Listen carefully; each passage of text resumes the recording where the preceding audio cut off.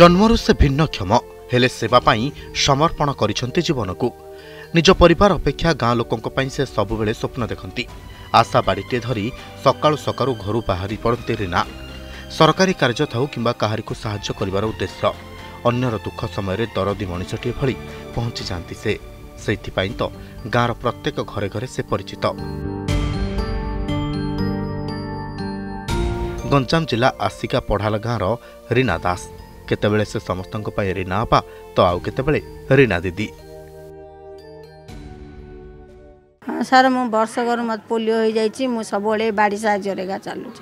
ମୁଁ ଜଣେ ଦିବ୍ୟାଙ୍ଗ ସାର୍ ମୋ ବାଡ଼ି ଏକା ସାହା ଭରସା ନାଇଁ ସାର୍ ଭୟ ଲାଗୁନି ମୁଁ କାମ କରିବାକୁ ମୋତେ ବେଶୀ ଖୁସି ବି ଲାଗେ। ସେ ମୋର ସାଙ୍ଗସାଥି ପରି ମୁଁ ବି କିଛି କାମ କରିପାରୁଛି ଲୋକମାନଙ୍କ ପାଇଁ ମୋ ମୋ ଗାଁ ପାଇଁ ମୋ ସମାଜ ପାଇଁ ମୁଁ କିଛି କାମ କରିପାରୁଛି ବୋଲି ସାର୍ ମୋତେ ବେଶୀ ଗର୍ବ ଅନୁଭବ ଲାଗେ। ଆଉ ବେଳେବେଳେ ବାଡ଼ି ଧରି ଚାଲିଲା ବେଳୁ ପଡ଼େ ବି କଷ୍ଟ ଲାଗେ କିନ୍ତୁ କିଛି କରିପାରୁଛି ବୋଲି ମୋତେ ସାର୍ ବେଶୀ ଖୁସି ଲାଗେ। ମୋ ଘର ଲୋକ ବି ମୋତେ ସମସ୍ତେ ସପୋର୍ଟ କରନ୍ତି। ତୁ ତୋ ଡ୍ୟୁଟି ଅଛି ପରା ତୁ ଯା ତୋ କାମ କରେ ବୋଲି କୁହନ୍ତି ମୋତେ ଘର ଲୋକ ସମସ୍ତେ ସପୋର୍ଟ କରନ୍ତି ଅଙ୍ଗନବାଡ଼ି ଦିଦିଙ୍କ କାର୍ଯ୍ୟଶୈଳୀ ହେଲେ ଆମେ ଦେଖୁଛୁ ବହୁତ ପରିଶ୍ରମ କରୁଛନ୍ତି ଆମ ପାଇଁ ସେ ବହୁତ ଦୁଃଖିତ ମଧ୍ୟ ଆମେ ଦୁଃଖରେ ପଡ଼ିଲେ ସେ ବି ନିଜେ ଦୁଃଖୀ ହୁଅନ୍ତି ଆମେ ଶୋଇଥିଲେ ମଧ୍ୟ ରାତି ଅଧରେ ଆସି ଆମ ଘର ଦୁଃଖ କଥା ବୁଝି ଯାଆନ୍ତି ଘର ଘର ବି ପରିଚିତ ଆମେ ସୁବିଧା ଅସୁବିଧାରେ ଆମ ଘର ଥିଲା ଆମ ପାଖରେ ଆମେ ନ ଜଣେ ସେ ଆସିକି ଆମର ଦୁଃଖ କଥା ବୁଝି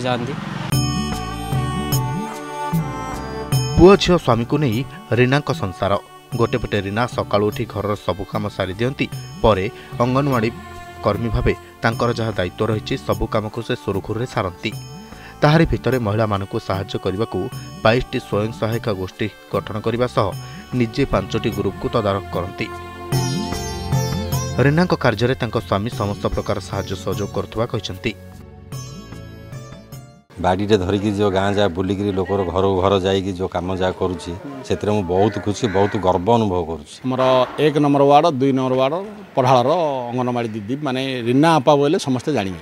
ସେ ଗୋଟେ ଭିନ୍ନକ୍ଷମ ଅଙ୍ଗନବାଡ଼ି ଦିଦି ଯିଏକି ପ୍ରତ୍ୟେକ ସରକାରର ଯେତେ ଯୋଜନା ଆସୁଛି ସେ ନିର୍ଭୁଲ ଭାବରେ ନିର୍ଭୀକ ଭାବରେ ସେ କାର୍ଯ୍ୟ ତୁଲାଉଛନ୍ତି ଲୋକମାନେ ତ ବହୁତ ସନ୍ତୁଷ୍ଟ କାହିଁକି ଡୋର୍ ଟୁ ଡୋର୍ ବୁଲିକିରି ସବୁ କାର୍ଯ୍ୟ ତାଙ୍କେ ଅତି ଚଞ୍ଚଳ ଭାବରେ କାର୍ଯ୍ୟ କରୁଛନ୍ତି ଯଦି ଅଫିସ୍ କାମ ନଥିଲେ ବି ଯଦି ବ୍ୟକ୍ତିଗତ କାମ ଥିବ ଯେକୌଣସି ବ୍ୟକ୍ତିର ସେ ଅସମୟରେ ଛିଡ଼ା ହେବେ ସହଯୋଗ ମଧ୍ୟ କରୁଛନ୍ତି ରୀନା ଦିବ୍ୟାଙ୍ଗ ହୋଇଥିଲେ ମଧ୍ୟ କାହା ଉପରେ ବୋଝ ନ ହୋଇ ନିଜ କାମ ନିଜେ କରିଥାନ୍ତି। ସେଇଥିପାଇଁ ତ ଗାଁର ପିଲାଙ୍କଠୁ ବୁଢ଼ା ଯାଏଁ ସମସ୍ତଙ୍କର ପ୍ରିୟ ହେଉଛନ୍ତି ରୀନା ଦିଦି। ଆସ୍କାରୁ ମନୋଜ ମୁନିଙ୍କ report Odisha reporter.